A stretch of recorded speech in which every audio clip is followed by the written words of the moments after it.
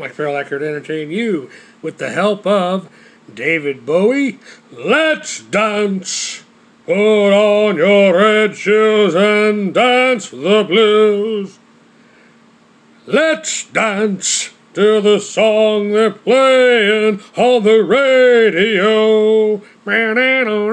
Let's sway. and if you say run, I'll run with you. And if you say hide, we'll hide.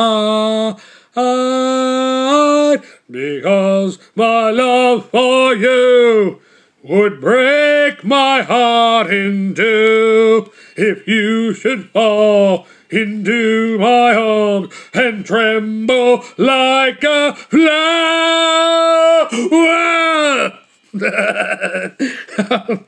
so, uh, when you own 7,777 CDs, sometimes you need a little help deciding what to listen to. Uh, Professor Rock Adam did a video about uh, David Bowie. Wrote the song, which I never, I didn't know growing up that he wrote the song uh, "Heroes." We could be heroes just for one day. I thought that was, uh, I thought that was a, a Wallflower song when I was a kid growing up in the '90s. But uh, no, apparently David Bowie wrote it. But uh, so I dug out the seven or eight CDs I have from David Bowie after watching that video from Professor Rock including uh, Tonight from 84, I believe, and Let's Dance from 83, which uh, years ago, everybody, like 20 years ago, everybody was given their cassette tapes and even CDs to the Salvation Army and Goodwill, and I was buying them up and turning them into CDs, homemade CDs, and using the tape, the artwork from the cassette tapes to uh, line the uh, case of the homemade CD. But uh, so I was able to acquire all this historical, musical, uh, music, uh, historical, you know, stuff from the music business for next to nothing. For example, uh, somehow it makes sense. Uh, uh, uh, maybe because he's deceased now, but somehow it makes sense that David Bowie made a song called Loving the Alien. I didn't know much about him uh, growing up, uh, other than he had a, a an unorthodox uh, persona. Beyond that, I thought him and Boy George were an item when I was a little little kid. I thought they were a. but I do recollect my sister showed me a video. Uh, I guess he knew his time was coming, and he did a video where he's in a coffin and everything and a coworker told me that that whole album, which I don't have, um, is the songs are all about death and. but in many ways, a lot of this stuff is still new to me. Now, apparently, he made a song called Cat People Putting Out Fire. and when I saw this title, I thought, was this an issue in England? People who love cats but also happen to love having lit candles all over their house. I think uh, um, I can see where that would be. Such a scenario would result in a, a catastrophe. An occasional, as my deceased grandfather would say, housewarming. And on an 87 album called Never Let Me Down, there's a song on there called Glass Spider and he also has a song, uh, uh, Ziggy Stardust, I, I learned is the title of it, but, where he references spiders from Mars.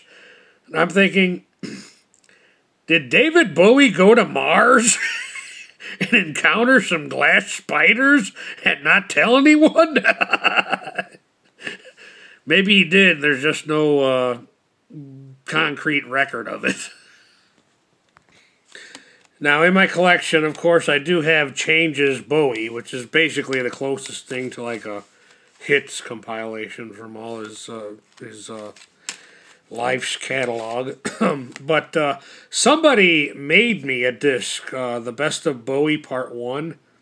Um, and I didn't know the names of the songs, so I just kind of like made up my own names. I didn't know uh, Ground Control to Major Tom. Obviously, when I compiled this homemade disc, I didn't know that song was called Space Odyssey or Oddity. but uh, there's another track on here. I still don't know the name of it, but he says in the song, Mickey Mouse has grown up a cow. Lennon's on sale again. The Bush song, the my favorite rock band, Bush, Everything Zen. He says Mickey Mouse has grown up a cow. Dave's on sale again. I always assumed it was reference to his bass player, who happened to be named Dave. I guess everything becomes a parody in time. But now that, but now that when I think about this, Gavin Rossdale has labeled Bowie as a subtle influence on him, musically speaking. But I guess everything eventually becomes a parody. It's just a testament to the limitations of humanity. on the other hand, Gavin Rossdale is from England too, so it would make sense that you know um, a guy like Bowie might be a a kind of sort of hero or whatever. Another song I don't I'm not sure of the title of it, but I called it All the Young Dudes Carry the News. It reminded me of the movie the Disney movie Newsies, back when Disney actually made family entertainment. uh, and, and Margaret's in that movie, but uh, that was a good movie about the uh, paper boys that were the system was taking advantage of them.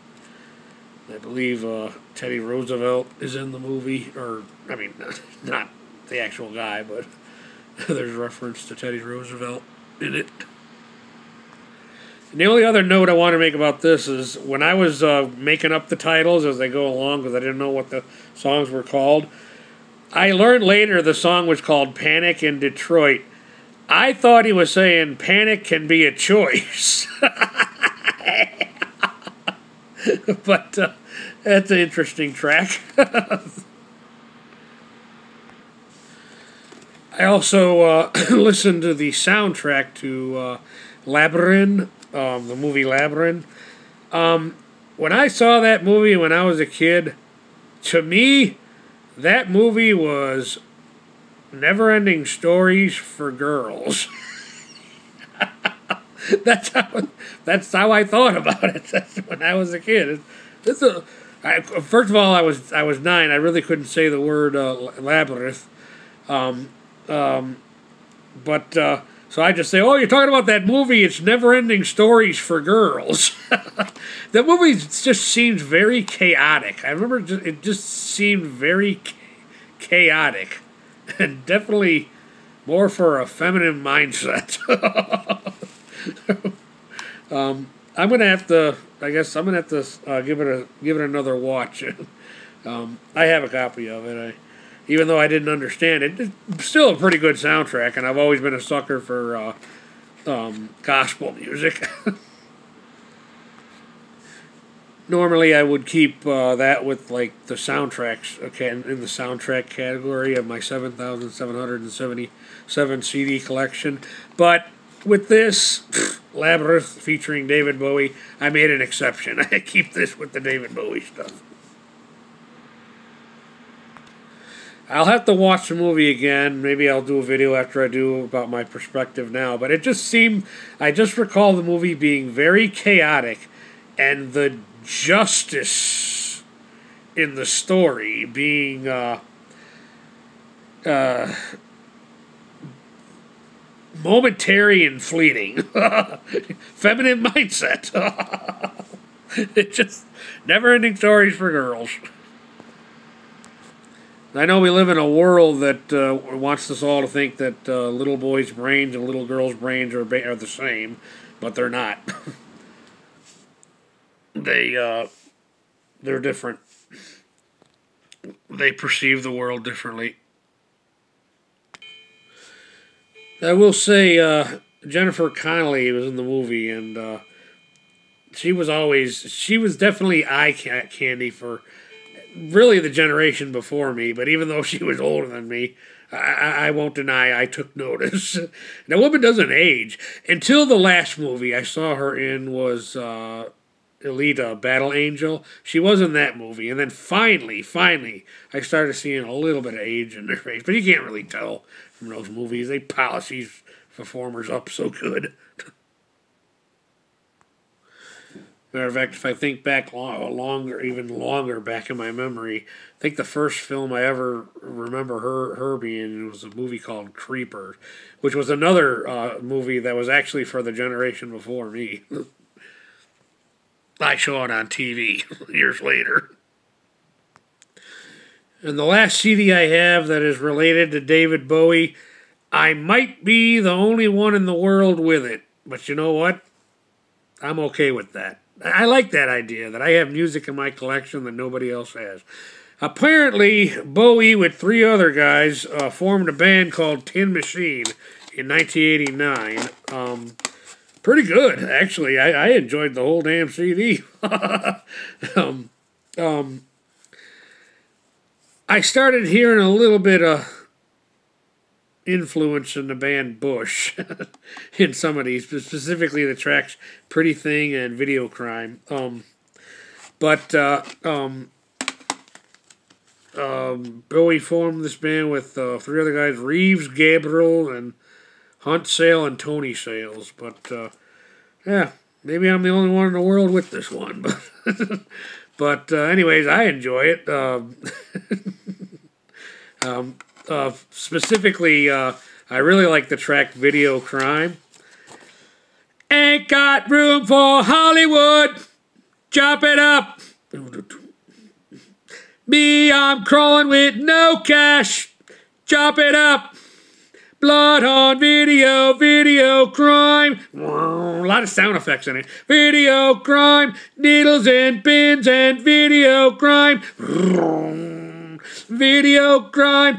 I've got dollars, I've got cents. Wonder where the third world went. it's right here. America's becoming the third world under this freaking administration. Bonehead. Bonehead administration. America last. The Flunk America administration. There is a cover uh, by this Tin Machine band of working class hero John Lennon. So that's pretty cool. but I enjoyed the whole damn CD. uh, the only other notations is uh, like uh, talking to other people at work. I uh, uh, checked out some stuff online about him. Apparently, he made a song even before, uh, sometime in the seventies, I guess, called "The Dancing Gnome," or, or no, the, the the Laughing Gnome. So I gave it a listen. It's basically David Bowie and Alvin and the Chipmunks. That's my impression, anyways. And then somebody else also mentioned a movie he was in called uh, The Man Who Fell from Earth, which I, I looked up some stuff. I checked out the trailer for it. I made the mistake, uh, maybe made the mistake of uh, checking out the comments section because somebody spoiled the end with a comment they made. But I thank the person. Oh, you saved me two hours, and I don't have to watch it now. Basically, all movies are the same, anyways. Um, the, the, morals of them and everything. It's just uh, basically same morals, just in a different format. When you watch as much movies as I've had most of my life, yeah, a lot of movies are identical morals. The the end of the movies result in identical moral morale, but um, just like in a slightly different format.